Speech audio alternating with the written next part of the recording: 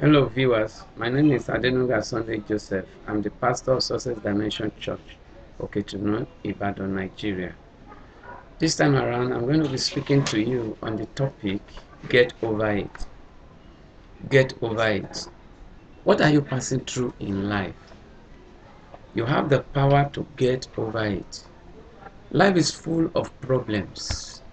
Life is full of problems. I used to tell you and no one is exempted from the problems of life.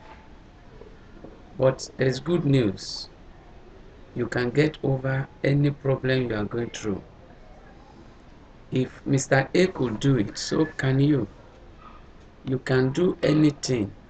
If you look at the history of the world, the world started not the way we have it now human beings have turned various problems into solution. They have brought solution to every kind of problem imaginable.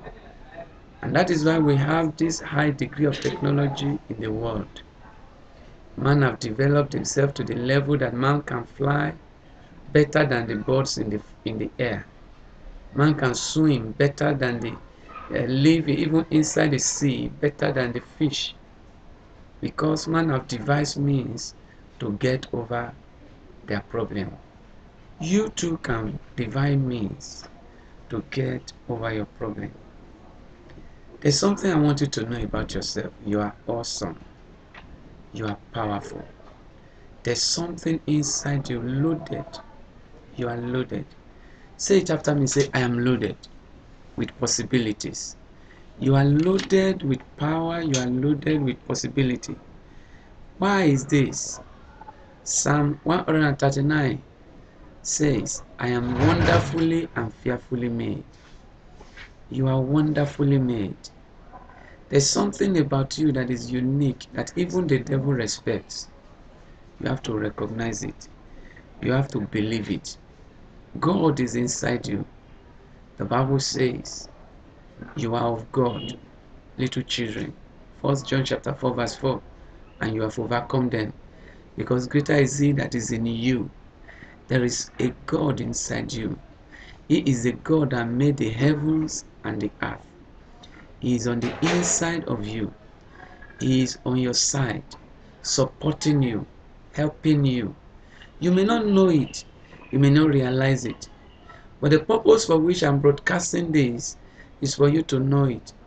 Because if you don't know it, it will be too bad you you will have it but you will not be able to use it. But now i want you to know it so that you can be able to use it. You can use it because you have it. It's inside you. God is inside you. He said you have god meaning that you are made of god's stuff. You are made of god's material. There is something of god inside you. And the only way you can bring it to bear is to recognize that god flow with the God that is inside you. Walk with that God inside you. Allow the God inside you to bring His power to bear in your life. That is how to get over problems. You are not alone. The book of Hebrews, chapter 13, verses 5 and 6 says that God will never leave you nor forsake you. He will never leave you nor forsake you. Isaiah chapter 49, verse 14 to 16 says, Can a woman forget her sucking child? That she will not have compassion on the son of her womb. He said, They may forget, but I will not forget you. You have a God. He is with you. First, I said He is inside you. Now I'm saying He is with you. Jesus said, I am with you always, even unto the end of the earth. Jesus is with you. He is with you now. He's with, it was with you yesterday. He's with you. He's going to be with you tomorrow. Forever He will be with you. He will never leave you.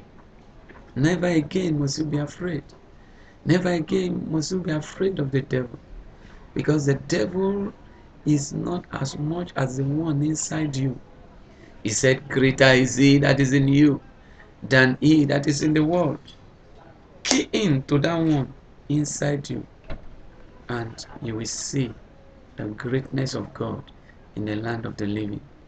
Visit my blog to get more encouragement at www.motivationfortoday.com or www.successgalore.blogspot.com and you will be blessed. You can email me or write me at successdimensionchurch at gmail.com or phone me with the number 234 plus 234 80 540 41462. God bless you. In Jesus' name. Amen.